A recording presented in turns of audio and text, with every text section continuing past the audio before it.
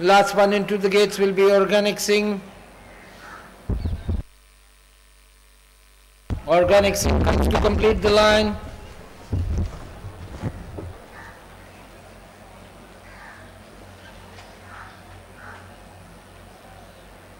Sher Khan a bit restless inside.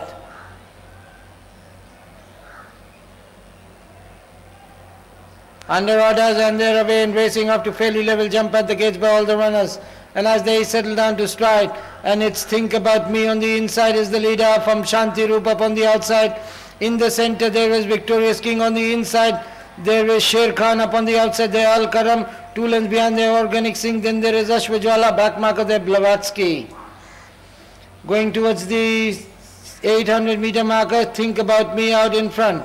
A lane to the good of Shanti Rup. On the inside there is uh, Sher Khan. In the center there is uh, Victorious King. Up on the outside there is Al Karam. Then there is Blavatsky. Followed there by Ashwajwala Organic Singh as they go past the 500 meter marker and start negotiating the turn now.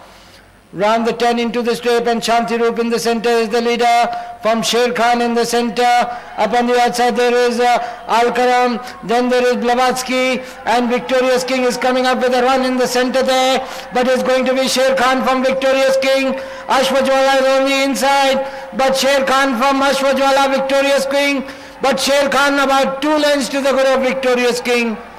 Sher Khan winning this one from Victorious Queen Ashwajwala. Then there is Al Karam Shanti Rup. Then there is Blavatsky. Last one on the Think About Me.